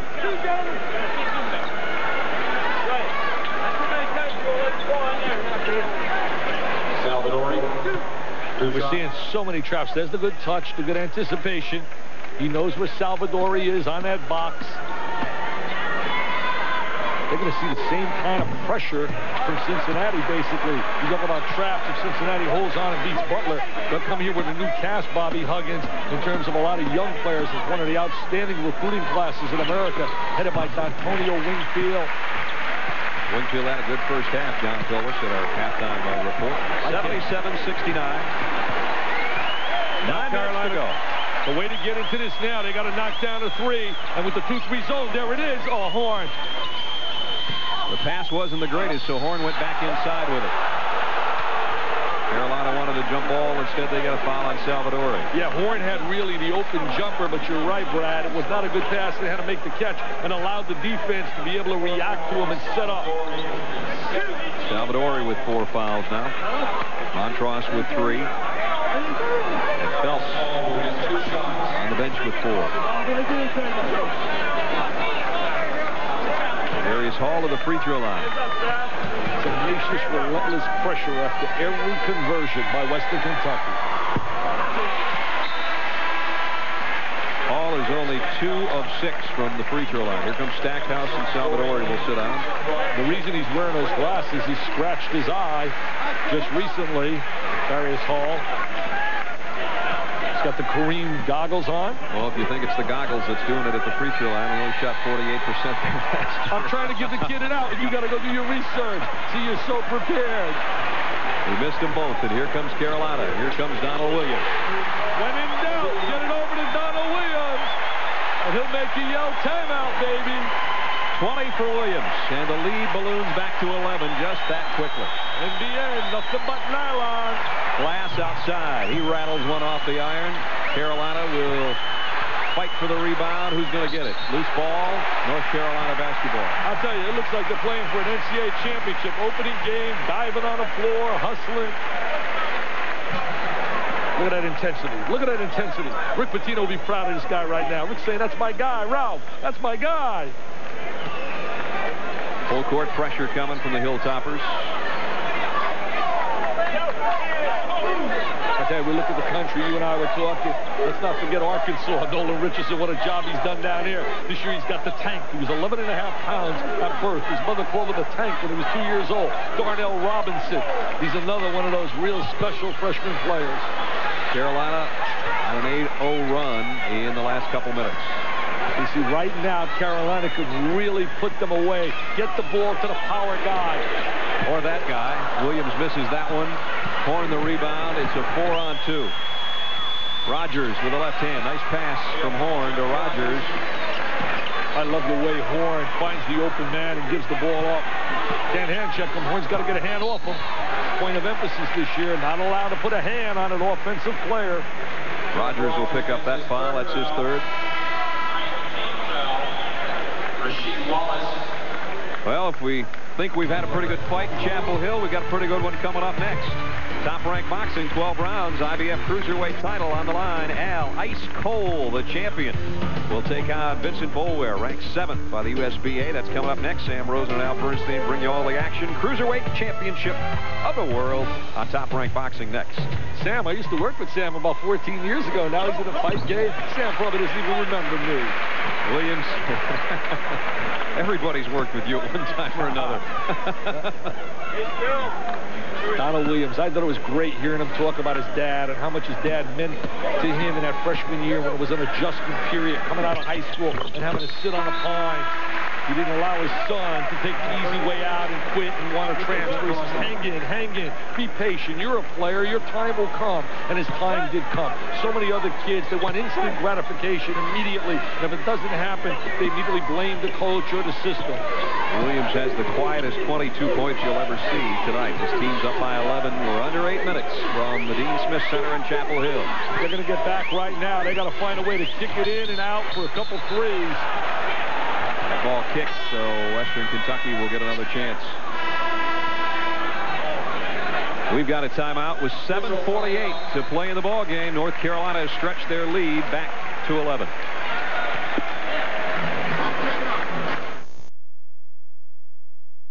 I'll tell you one thing. You mentioned Massachusetts. They're playing Cleveland State on ESPN. Cleveland State is going to have some really quality athletes. And Michael Boyd, who a lot of people don't realize this at Cleveland State, he did a great job at Michigan and played an important role in Michigan winning that national championship in 1989 as an assistant coach. He did a great job under Mr. Frieder. He's got some good athletes. But Marcus Camby, remember that name from Massachusetts. He's 6'10", agile, and I'm going to tell you, he can play. We only showed you one side of the 16-team bracket. And Cincinnati and Butler playing also tonight, and they lead. Cincinnati does by 13. If they win that, it looks like they're coming to Chapel Hill. Count it. Donald Williams has taken this game over. He has taken it over a la just like he did in the final game against Michigan. Number 14, Michael Fralix. Certain guys are just born to score. Here's Williams right now in transition. He hangs in the lane, little one-hander, the knee up in the air, the conversion. He shot that all of my guy John Saunders and Digger Phelps. That's the old style, the knee up in the air, like Digger shot when he played at Rider College. One of the great cupcakes in all of America. I'm only kidding. If Williams hits the free throw, and he does. He's got 25, which is the same score they had against both Kansas and Michigan to win that MVP in the Final Four. So 25 for Williams. And the lead's back up to 14. And he really got going late, Brad. 15 of his 25 points here in the second half. They're in a zone right now. North Carolina going to force them to shoot over the top of that zone and have great inside rebounding position with Montross and Salvadori. Robinson, three. See, they force you to do that and then try to get good inside position with the triangle defensively. Nice hustle by Horn trying to get the rebound, but he stepped out of bounds. A lot of big gaps in that zone. Whatever you can do to zone defense, you allow a lot of seams and gaps. Right now, I'd punish. I'd bring the ball right into Montross. Right down into the big fella. And it's stripped. Salvadori picks it up, puts it home. Well, Montross says that's a little assist. I gave it to my buddy Salvadori.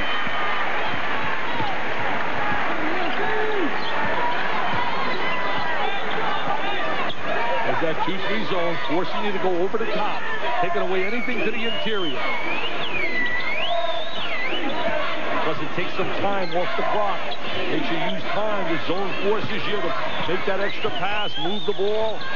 Horn had it stripped away, picked up the loose ball. Robinson will try it out there again and drains a three. Robinson said, you give me the gap, I'm going to knock it down. Tell you what, he's had a big second half. Robinson only had two points in the first half, has 13 in the second. Very smart play by Dean Smith's kids. They line up with Williams and Montross on the same side of the floor. You have to come out and respect Mr. Williams' jumper, so now you'll get the ball inside. Michelangelo, an artist. Just watch him work. It's always a pleasure to watch him in the gym. Says his golf game suffered in the offseason because they were national champions. Well, I think he'd give up that bag of sticks again to repeat this year him. He said, I'd give it up again. I'd let my golf game suffer again if it meant we can win. He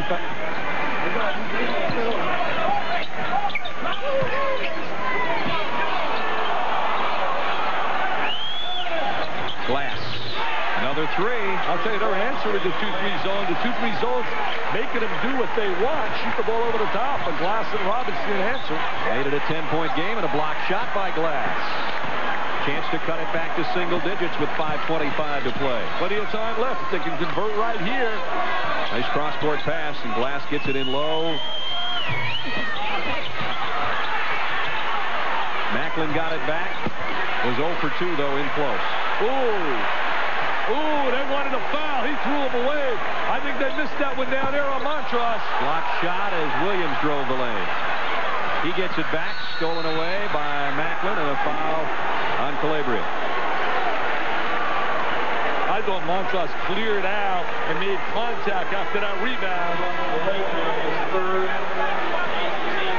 There's the rebound, and Montross is going to come up with it. Here it is. Freeze it right here now. All right, let's go. Now roll it. Here we go. Oh, there's the little left arm. Just get out of my way. No such thing as a little left arm when you I talk know. about Montross. I mean, that's bigger than Holyfield or Riddick Bowes. Five minutes left in the game. Brad Nessler and Dick Vitale in Chapel Hill, where the number one team in the land has had their hands full tonight against the Hilltoppers of Western Kentucky. 10-point game. Chance to put it back in single digits in the hands. And at the free throw line is Macklin. He's probably the most celebrated recruit in Western history. He chose Western Kentucky after offers from out of, well, Louisville, Indiana. I mean, this kid can play. He's a nephew of former LSU and NBA player Rudy Macklin. Rudy played on the LSU team that went to the Final Four the year that Indiana won it all with Isiah Thomas. He just put the knockout punch on Bill Laimbeer as the ball in. Get it in deep like that, it's over. It's an M&M'er. It's a mismatch. It's an NC. No contest. It's Cindy Crawford against Roseanne Arnold, baby, Oh. in a beauty contest. Brother. It's also 89 to 79. And Phelps almost came up with a steal. Horn on the drive. Kicks it back out as he went against two seven-footers. Basket goes by Hall. Look at that emotion on that sideline. What emotion they have, the Western Kentucky kids. Something special happens when players play with emotion, and you play with feeling, and you play with some love and some real, real great attitude. And that's what the Ralph Willard kids do, and that's a reflection on Willard. He's won 61 games in his three years, drives the pass inside. What a tough cookie this number 21 is Mr. Horn. And there's the kick off the glass. Hall gets the conversion. And Phelps fouls out. Not a normal Derek Phelps night, that's for sure. Two No, points, not. four assists. No, I didn't play well. Was in foul trouble early. They even played Donald Williams at some point guard slot. McInnis got in foul trouble as well. So Derek leaves. 6'4 senior, only two points and four assists tonight. With 4.34 to go, he is gone. Second player to have fouled out is Cephas Bunton left at the 10-21 mark for Western Kentucky. The thing that impresses me the most about Western Kentucky, they just don't back down. They just keep coming at you, coming at you. Darius Hall, we talked about free throws. He drains that one and makes it a seven-point game. They go a little too free. They're looking to take you to a trapping area. There's the turnover. They forced the turnover. Now they got to think about the three. Now they have to think about trying to get a three. Spot a guy up that can shoot the three. Someone like Horn. Fralix can shoot it as well.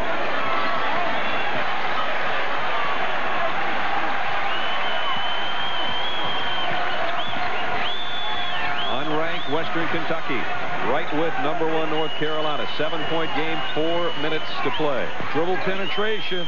Look to drive it in. Horn likes to penetrate with the ball. Here he is against Williams. Has a little screen for him, trying to get a little two-man action. He's going to kick it out off there. Triple team. Loose ball comes off the glass. And then Montross clears it off the glass. I love the way Montross outlets the basketball, keeps it over his head. The best I've ever seen outlet it was Wes Unseld years ago, the former Louisville All-American, now coaching in the NBA with the Bullets. Approaching three and a half minutes, 89-82 North Carolina. Williams all alone. Salvadori, nice rebound inside, or did he push off to get that rebound? Nope, they're going to call a foul on Western Kentucky. Donald Williams got to get a little bit more aware of the three-point line. Put himself a little bit out of shooting range, shooting it from a little too deep.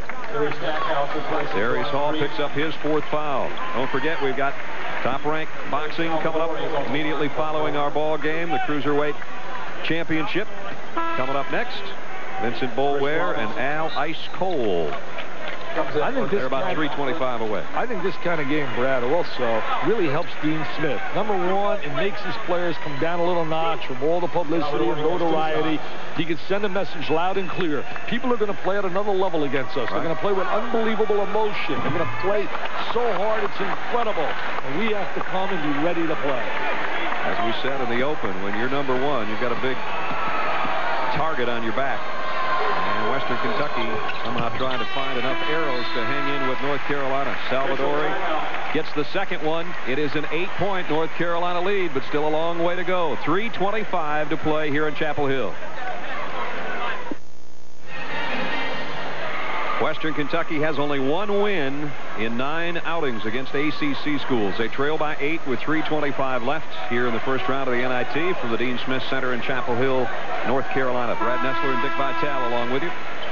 I think the ACC, again, from top to bottom, will be the best conference in basketball. You look at Maryland, for example, some new good recruits, Johnny Rhodes, and they're picked maybe to be last. Sharone Wright and company down at Clemson could surprise some people. And I think up on top, you got three top 10 teams with Carolina, Duke, and Georgia Tech. And watch out for Virginia. There's that 2-3 zone right now. Glass has already hit one. He's got another. He loves that 2-3 zone. He only has two field goals. They're both three-pointers. It is a five-point ball game. Really denying defensively, trying to play good denial on a wing. Little Horn matching up on Williams. Williams trying to take him one-on-one. Foul outside as Williams started his drive. It'll be on Horn. Third foul on Darrin Horn. We're going to take a look right now. Here's that 2-3 zone right here by Carolina. And we're going to watch them get into this gap area right here. Watch. We're going to watch them get into gap area. Right in this area here, there's a big hole. Freeze it. Right here. He loves it. Slow reacting, shoots it over the top, and it's nothing but net. There it is. Good night. Hello. Tickle the twine. Fifth three-pointer of the second half by Western Kentucky after going over in the first half. Williams now 26. As a freshman, he played a little backup point guard. And right now, because of Phelps fouling out and McInnis getting four fouls, he's jumped into the point guard slot.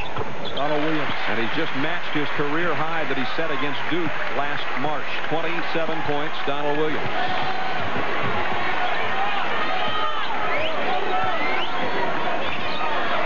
Somehow, Western Kentucky, after they leave here, has got to get Jeff Rogers to play at the ability that he's capable of playing, to give him some real spark at that point guard spot. And I really believe he will become a solid player after watching him work out. He's jet quick. He's a tremendous scorer as well. Robinson in low to Hall. Oh, he blew a close one. Yeah, lost control of the basketball. That really hurts. That could have cut it to five for the Hilltoppers. And now Donald Williams says, let's use some of that 35-second clock. They go to a little 1-4 set, then step up high out of the 1-4. Little screening action inside between Montross and Salvadori. They play their own little two-man game. Both done a little motion. Stackhouse cross courts it. Williams inside. Montross counted. He has really learned how to use the right. You know, he turned his ankle. Yeah, Montross turned his ankle. He used the right and the left hand so effectively. Led his high school Lawrence North to the state championship.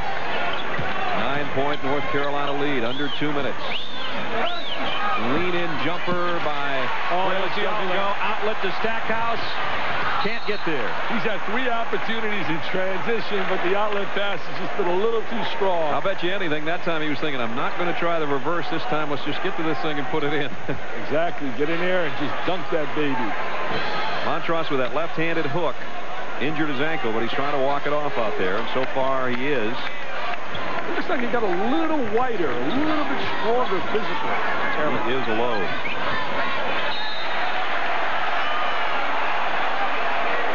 Become quite a celebrity at a big country western concert here. And I found this out. He went to see Clint Black. And he went to see him in concert. And everybody was driving him nuts for autographs. now to a minute and a half to play. 94-85. They like to run a lot of quick two-man games, Glass games. Missed that three, and Montross clears it. Montross getting every rebound and every missed shot now. And the foul on Glass on the collision with Calabria. Cruiserweight title fight coming up next. That immediately follows our ball game. Top Rank Boxing brings you the IBS, IBF uh, Cruiserweight title bout. That's a minute and 20 seconds away, so hang around for that. Eric Montross going to relace that left shoe. One he turned a little bit on his move to the hoop. And he is still limping. That'll hurt worse tomorrow morning probably than it does right now. And it looks like North Carolina will have to play two nights from now. Coach Smith allows himself a smile with a nine-point lead, 120 left. Calabria leaves the door open a little bit by missing the free throw. Another W. Come on, coach, give us a smile. Another W, 775. What a career he's had. It's just been incredible. Nine Final Fours. I mean, 13 times in a row to the Sweet 16. And now the Hilltoppers pretty much have to live on the three, as if they haven't been the last four minutes. Robinson will take a two, though, and nails it, and they want a timeout, and they get it. Robinson really has done a great job in the second half. Remember the new rule now, the last one minute, definitely the clock stops after every score. Right now it stopped with 109 left on a timeout.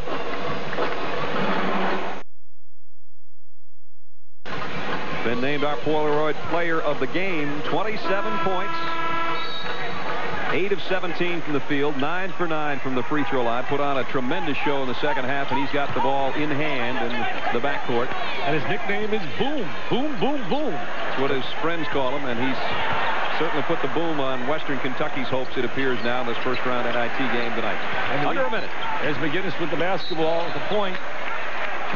The reason they call him Boom, his mom laid it on him in his house when he was a youngster. He'd be upstairs and he'd have a make-believe basketball goal and he'd be trying to shoot jumpers and shoot jumpers and make noise. Then she finally nicknamed him. She says, you're Boom. And tonight he was Boom, Boom, Boom. He has made a lot of noise tonight, too, and tied his career high, as we said last March, against Duke. He had 27 tonight in the first game of 93. 27 more. Here's McInnis at the free throw line. That's his fifth point of the And now the Carolina fans hanging around to see if they can get the century mark. And they have had to hang around all night just to see if North Carolina could survive this scare. And they will, apparently. 53 seconds left. Western Kentucky's out of timeouts, by the way. And it was a scare. There was no doubt. I mean, this club really got late in the game, down to three, scrapping with them. And they shot 0 for 10 in the first half from three-point range. It would have really been interesting. Robinson. That one's off the mark. Not a good shot right there. Really a bad shot. Stackhouse. Foul by Fralix. That's going to do it for Michael. He'll foul out. First, first time I heard about Jerry Stackhouse was from Howard Garfinkel, the high school guru from out of New York. Told me about him when he was a sophomore in high school, and I'll tell you something, he has got quite a future. I don't like those shorts. Though. Look how baggy those shorts are. I mean, those shorts, I mean, why do they wear them down to their ankles? Rasheed Wallace sets the standard, I think, for baggiest shorts for North Carolina. You know, mentioning great recruits, what a class UCLA has gotten early. I think Jimmy Harrick has put all those people to sleep out in L.A. on the talk shows that were burying them constantly. One guy in particular, Joe McDonnell. I mean, this guy was ripping them left and right. And here it is. He said he could recruit. Best class, followed right by Indiana and Duke. The three of them early have done a tremendous job of recruiting. Horn misses the jumper. Calabria gets the rebound. They got Stackhouse. There's the exclamation point. Oh, no, he gets fouled. Robinson wasn't going to give him a cheapie. Duke beat North Carolina out for a little guard. Oh. Alex Wojciechowski from out of Maryland, who they're excited getting for their program for next season. And Ricky Price, many people say 6'6", from out of California, who some people say is the best player in California. Kansas has got to be smiling with Raef LaFrentz, a seven-footer from Iowa who just committed to Roy Williams down here, former Tar Heel assistant coach. He's done a magnificent job with Kansas. Tell you who's smiling tonight is the fans in North Carolina over this young man, Stackhouse. Got to go back to 28 to find them losing an opener They're not going to lose this one. They are over the 100 mark, 101.87. Losing one oh at home. Losing. Yeah, they lost that one that year, and after 1980, 1982 championship team. Stackhouse, does he have time for one more little show? Nope, foul by Horn. Western Kentucky's not going to give up anything, even though they're going to lose this game.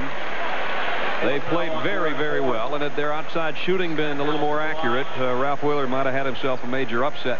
I think as it is, they're down 13. I think, Brad, the synopsis here tonight is Ralph Willard's got himself the making of an outstanding team, number one, with great athletes and quickness. Number two, also North Carolina, power galore, quickness, tremendous scoring potential, and they're the real deal. I mean, they're going to have a phenomenal year. Here's Serge Zwikker coming in for Montross, another seven-footer. Montross leads with 21.